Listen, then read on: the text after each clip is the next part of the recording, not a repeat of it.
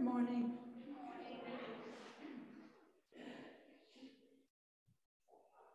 Good morning, everybody.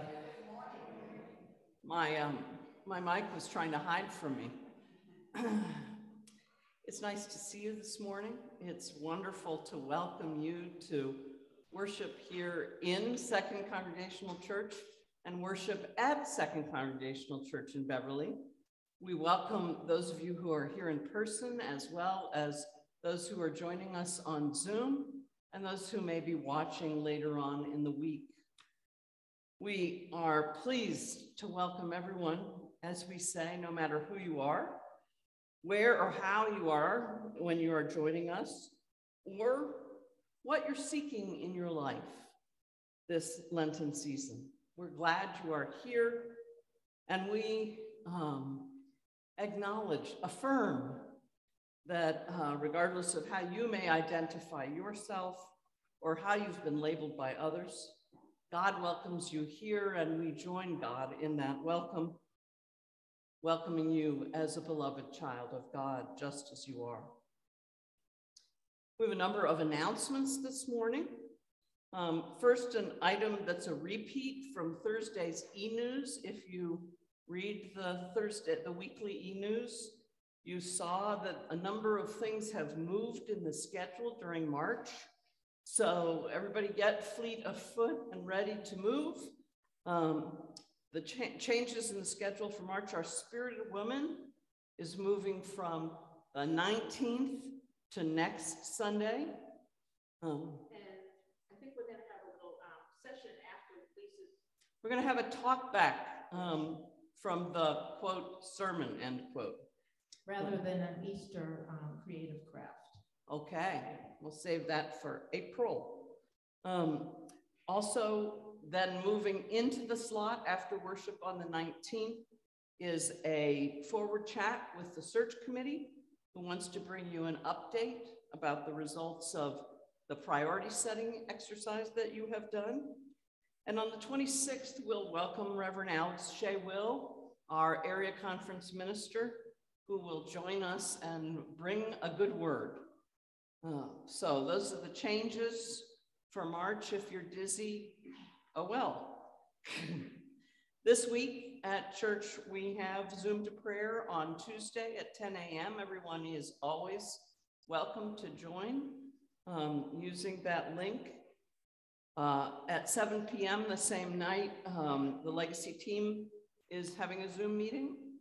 And on Wednesday, the search team is having a Zoom meeting at 7 p.m. Those are the announcements I have. You want to bring prayer concerns? Yes, some prayer concerns. So Donna Kendall hopes to be coming home today. So that's good news for Donna. Um, also, she's been in hospital all week, yes. Also, could we keep Cynthia Falkowski? She's going to have a procedure this week. That's Leah's mom. Could we keep Cynthia in our prayers, Lisa? Yep. Um, I don't have a lot of others. I know we have lots of others on the prayer list, um, but we're gonna we're gonna invite you to mention the ones that you have on your list, folks, and concerns that you have on your lists uh, later in the service when we come to the prayer time. Um, so that's all I wanted to to name, except there's this one little other thing. You didn't give me permission, but I'm doing it anyway. Um, uh, Wednesday, I believe, is Wendy's birthday. 67. Thank you. So we, uh, we, s- to you, happy birthday to you.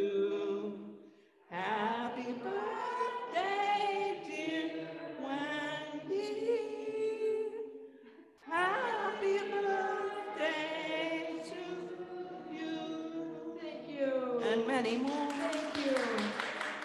And it was also Kathy Taylor's birthday on March 3rd. Uh-huh. We probably have a bundle of other unacknowledged birthdays. And to everybody who's having a birthday around this time, we wish you a happy birthday as well. I think that's everything. Um, so I invite you to turn to your bulletins where you will find our responsive call to worship. Let us join in calling one another to worship. What is it like to begin again? Like flowers in the spring that push through frozen ground. It is like babies learning to walk one clumsy step at a time. It is like Nicodemus in the night asking Jesus for guidance. It is like a Sunday morning starting our week anew. May we find God in our seeking. May we learn as we go. May we be brave enough to begin anew. Let us worship the God of new beginnings. I invite you to join in singing our opening hymn, which is Jesus Calls Us Here. You'll find it on the insert on page three. Um, and we'll sing verses one through three, just one through three. Please rise as you are able and inclined.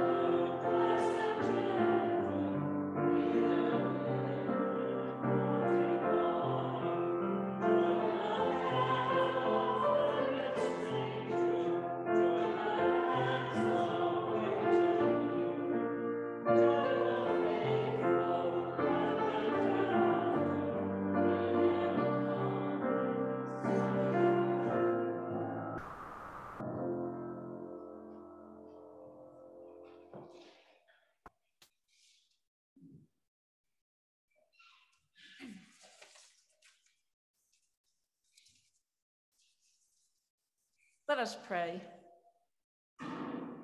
God of love, God of new beginnings, we come with questions and with doubts about ourselves and others and even you.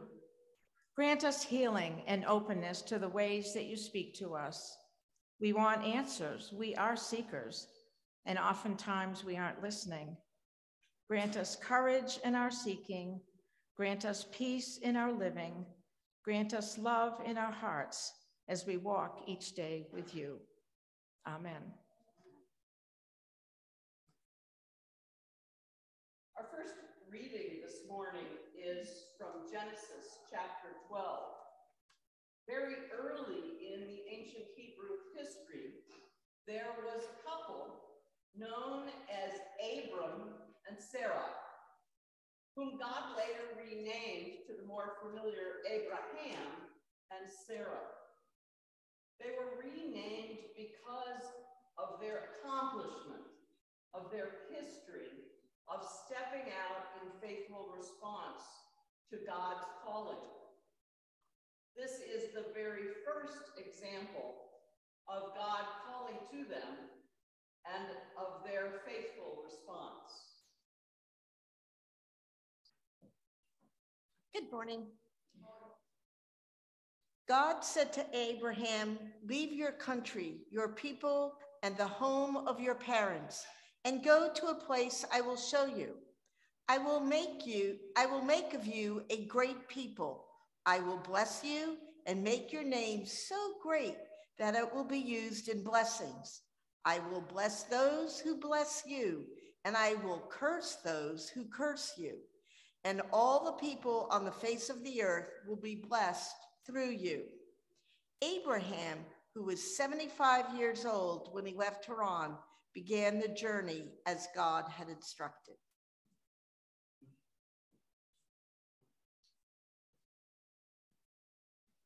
As you know, or are beginning to gather, our Lenten series is about seeking and asking questions that lead us into deeper faith. series creators included a songwriter in the gathered artists whose theme song has been in my head now for many weeks. It is called Land of the Seeking.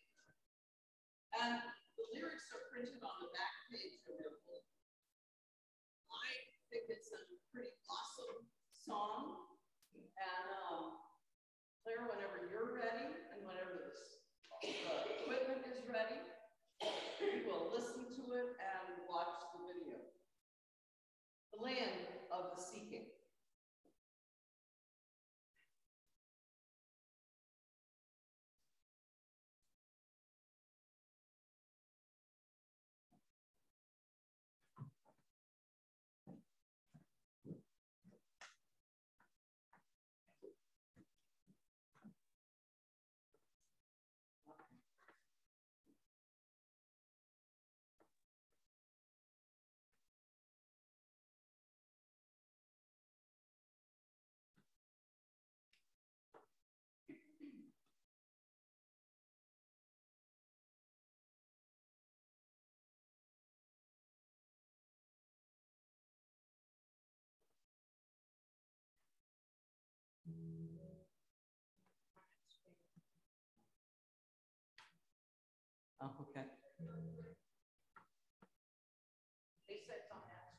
Yes.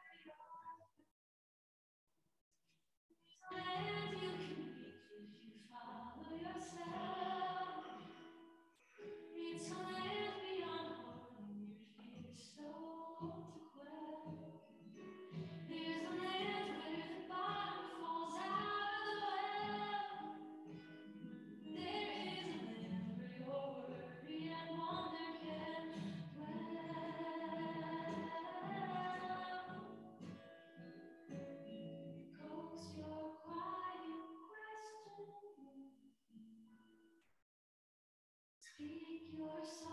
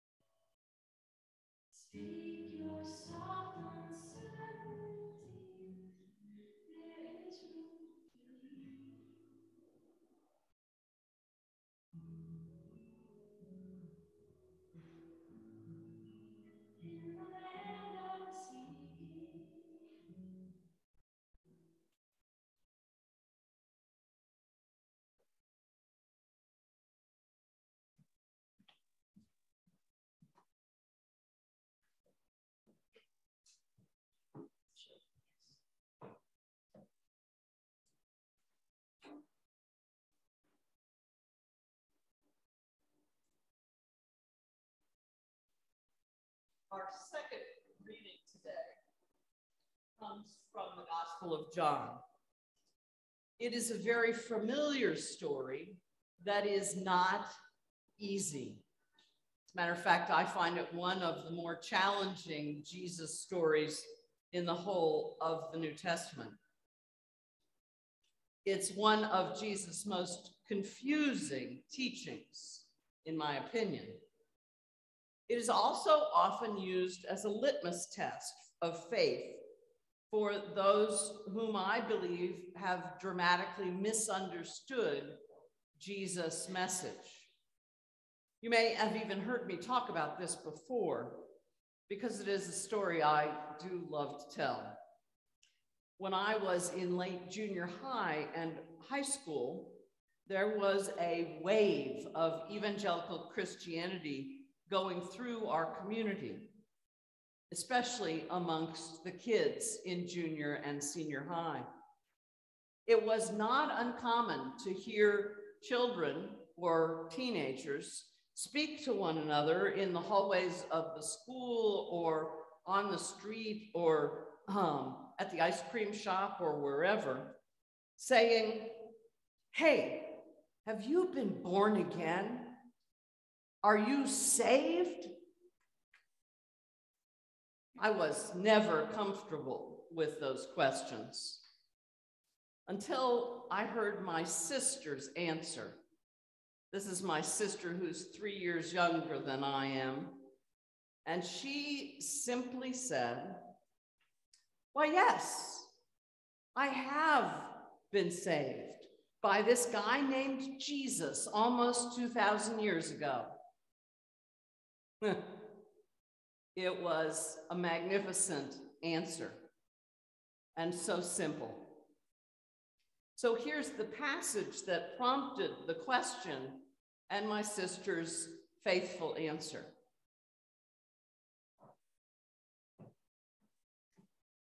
The reading is from John chapter 3, verses 1 through 17.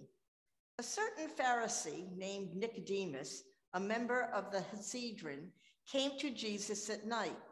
Rabbi, he said, we know you're a teacher come from God, for no one can perform the signs and wonders you do unless by the power of God. Jesus gave Nicodemus this answer The truth of the matter is, unless one is born from above, one cannot see the kingdom of God. Nicodemus said, How can an adult be born a second time? I can't go back into my mother's womb to be born again. Jesus replied, The truth of the matter is, no one can enter God's kingdom without being born of water and the Spirit. What is born of the flesh is flesh, what is born of the Spirit is spirit. So don't be surprised when I tell you that you must be born from above. The wind blows where it will. You hear the sound it makes, but you don't know where it comes from or where it goes. So it is with everyone who is born of the Spirit. How can this be possible? asked Nicodemus. Jesus replied, You're a teacher of Israel, and you still don't understand these matters? The truth of the matter is, we're talking about what we know, we're testifying about what we've seen, yet we don't accept our testimony. If you don't believe when I tell you about earthly things, how will you believe when I tell you about heavenly things? No one has gone up to heaven except the one who came down from heaven, the chosen one. As Moses lifted up the serpent in the desert, so the chosen one must be lifted up, so that everyone who believes in the chosen one might have eternal life. Yes, God so loved the world as to give the only begotten Son, that whoever believes may not die, but have eternal life. God sent the only begotten one into the world, not to condemn the world, but that through the only begotten, the world might be saved. Here ends our readings for this morning. May God add a blessing to our hearing and understanding of the word. Amen. I invite you to turn to page 492 in your hymnals and let us join in singing Spirit of the Living God. I think we'll sing it twice.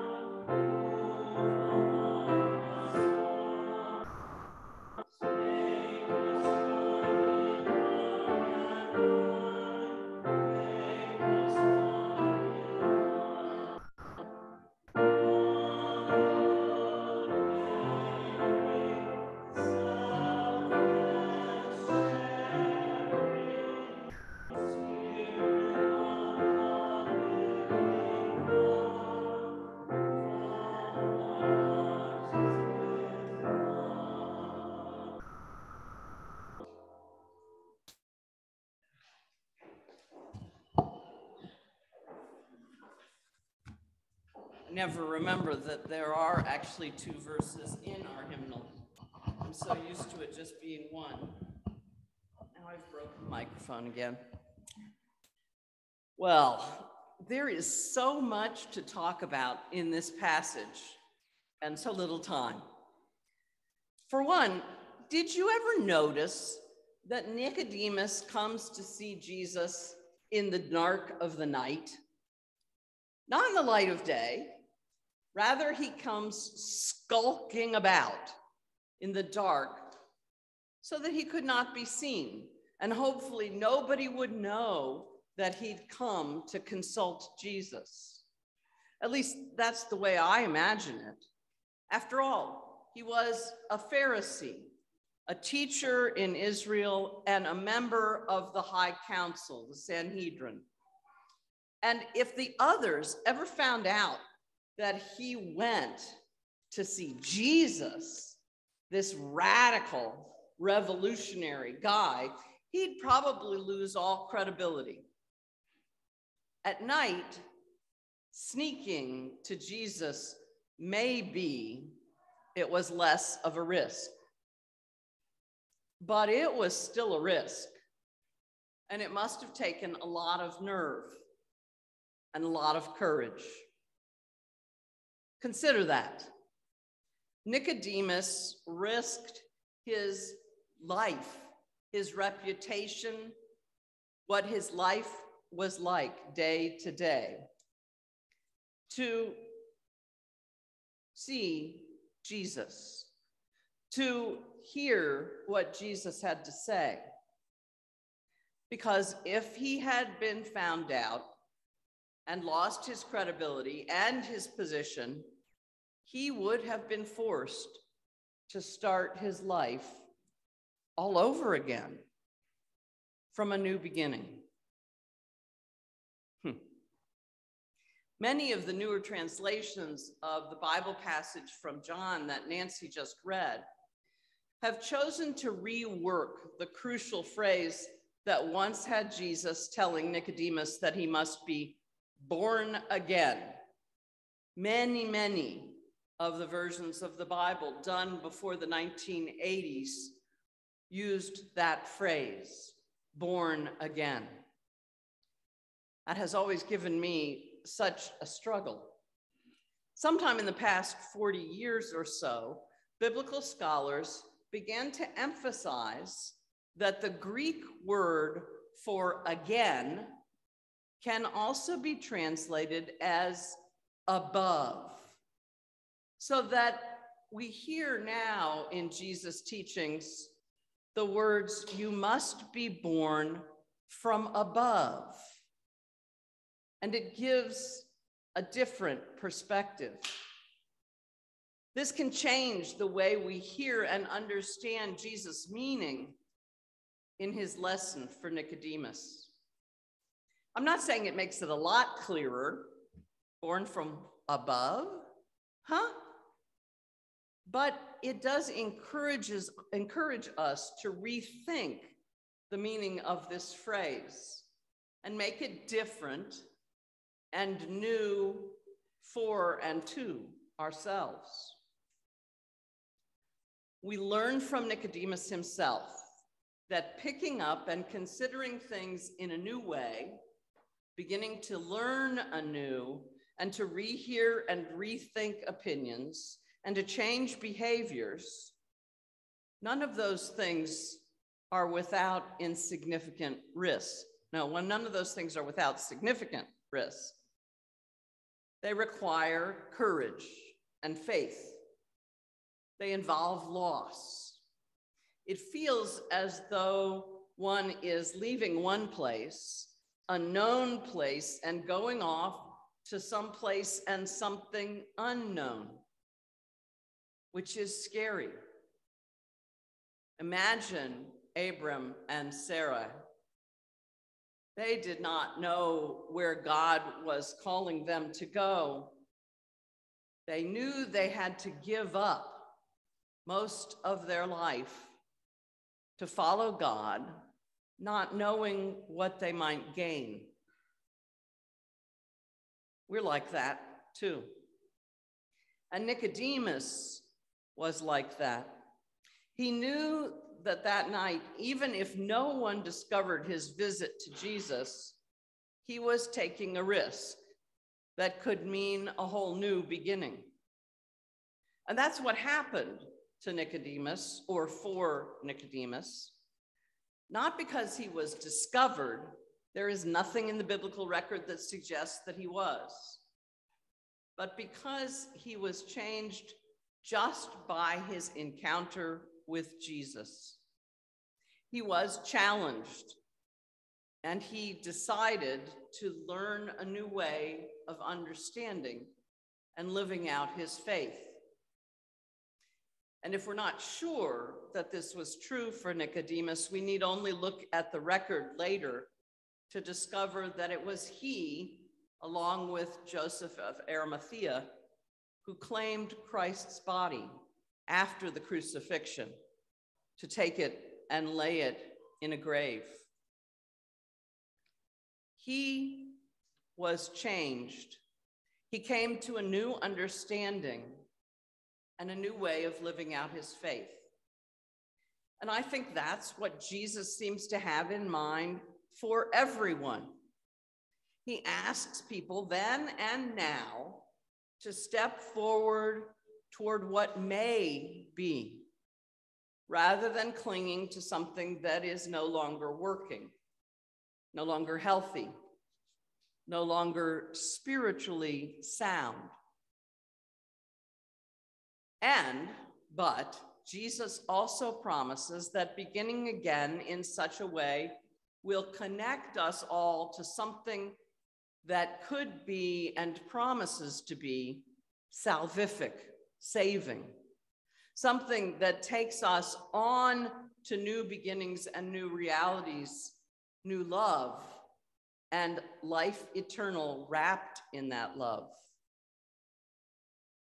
Well, friends, this passage is most certainly meant for us, right? In this moment, Second Church, and so many churches like it, are being challenged to step out in faith, not knowing what will come next. We are being led to give up systems and patterns that we cannot, that no longer work, and trust that God will create something new that we cannot imagine and may never see. We are like Moses, who never saw the promised land. We are like Abram and Sarai, who so and so many other generations of God's people, who are promised blessings when they summon the courage to leave here, make endings, in the hope and belief that there will be new beginnings. I believe this action takes us into a place where wonder and worry dwell. We've all been experiencing that together the wonder and the worry. It is a land where questions and uncertainties are real, way real but also accepted. This is the risky and brave step of seeking God's spirit and love in forms we may not know or have dreamed of, but which God promised in Jesus and continues to promise to us every day, individually and as a church, and as a people of God and a world we are invited to take the risky and brave step of seeking God's spirit and love in forms we may not know, in ways we may not be able to imagine, but which God promises we will find as a blessing. Thank you. Thank you, each of you for being God's seeking people, people of such faith, people of such courage. In Jesus' name and way. Amen.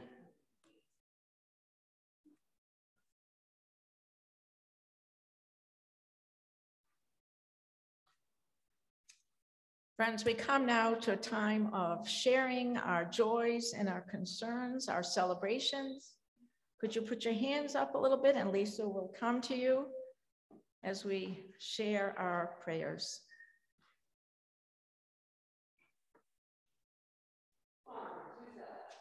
Yes, I'd like to um, have blessings for my children. Um, my daughter, uh, Marie, she fell over and Only ice, so uh, she's on uh, medication, so. And she uses that back for work rather a lot. Mm. So we pray for her and all your children. Mm. Um, speaking of children, we keep the list of granddaughters. Emma and Grace and Nora. Nora. I knew it was there. Um, who else? Jack, Jan is doing well. We give thanks for Jan's healing from her knee surgery. Who else? Y'all are quiet today.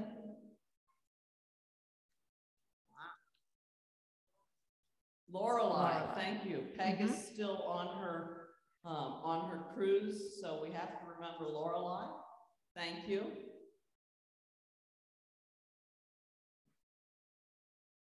My sister Deb, my sister Debbie, who's uh, still getting symptoms from her um, uh, GPA, which is very severe, more than severe arthritis. Mm, Okay. Okay. Thank you, Sister Debbie. We continue to hold many others in prayer, especially those who live in places that are foreign and difficult to us. Uh, we think of the folks in Ukraine, as well as folks in Turkey and Syria, as well as folks all over this country who have been uh, put through trials and tribulations with the weather and other issues. So we continue to pray for all in our world who are in need.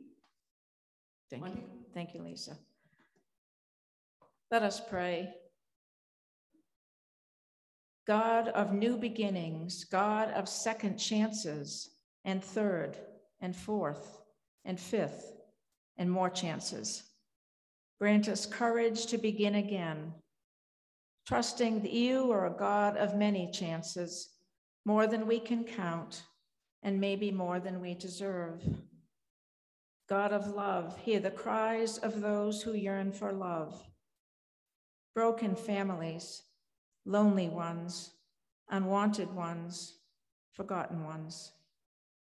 God of justice, hear the cries of those who are persecuted and oppressed, those who are broken, those who are treated unfairly, those who suffer unjustly. God of peace, hear the cries of those who are in war torn lands, for those on streets, for those in malls, for those in churches and schools. Hear the cries of those who are anxious, frightened, alone, and addicted. God of healing, hear the cries of those who are ill, physically, spiritually, emotionally all those who are hurting, confused, depressed, and weak. Hear the cries of those we have named today. God of mercy, hear the cries of the ones who yearn for mercy, forgiveness, compassion. Hear the cries of all who are in need of grace.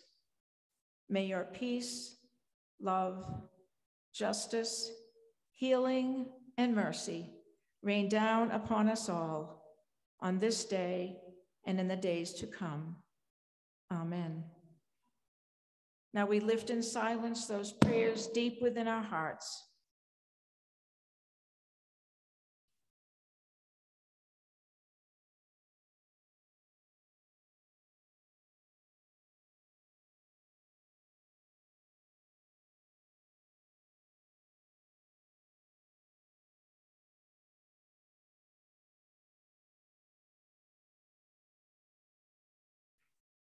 And now we pray the prayer that Jesus taught us, praying, Our Father, Mother, Creator, who art in heaven, hallowed be thy name. Thy kingdom come, thy will be done on earth as it is in heaven. Give us this day our daily bread, and forgive us our trespasses as we forgive those who trespass against us. Lead us not into temptation, but deliver us from evil. For thine is the kingdom and the power and the glory forever. Amen.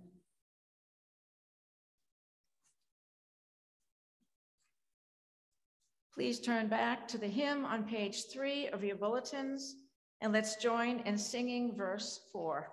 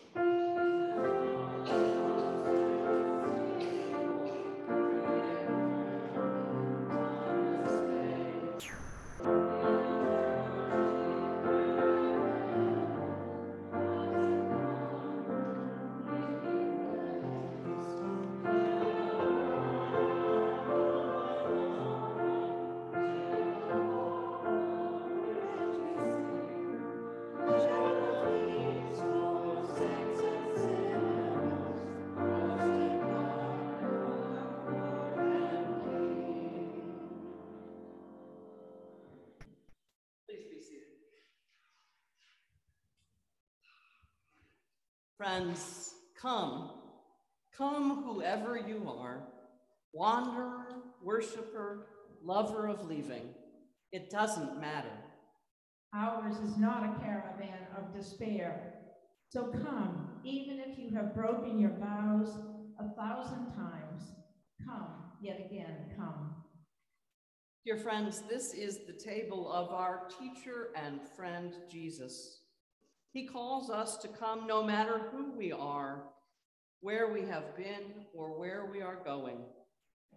He invites us to find a place here, no matter what we are seeking, promising that there will be room for each of us.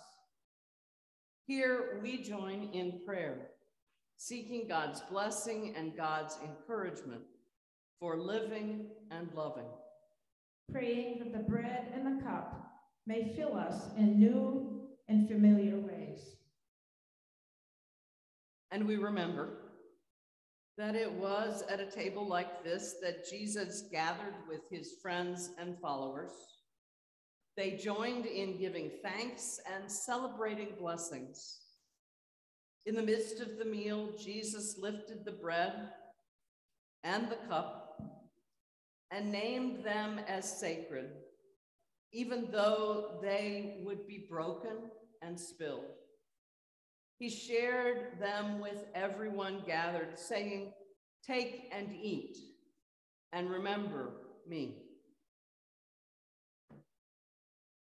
Now we take and eat and remember in Jesus' name. As you receive the elements, please go ahead and peel back the, um, where's the instructions? I just lost them. Peel back the little end of the container, the cover on the little end of the container, and go ahead and partake of the bread. Then turn the container over and slowly, carefully, peel back the cover on the larger end and hold the cup so that we may all receive together once all have been served. Friends, this bread and this cup are God's gifts to each of us.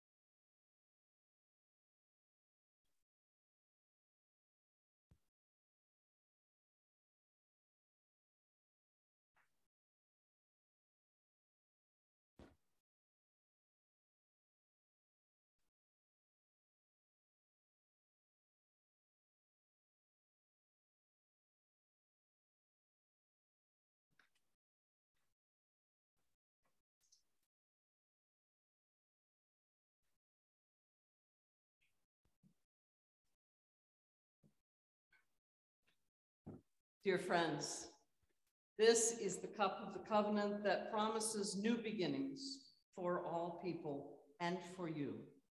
Let us take and drink in Jesus' name.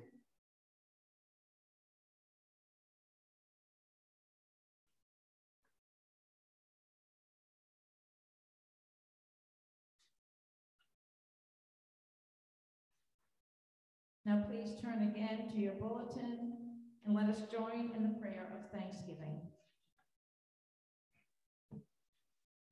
God, we give thanks for all the gifts of love and nurture you share at your table. Through the bread and the cup, we are given courage to begin again as we seek to live in faith and love. Bless us now as we go forth, filled with your spirit, and in Jesus' name, amen. We invite you to find your uh, hymnals and to turn to page 355. That's 355. We'll sing This is a Day of New Beginnings.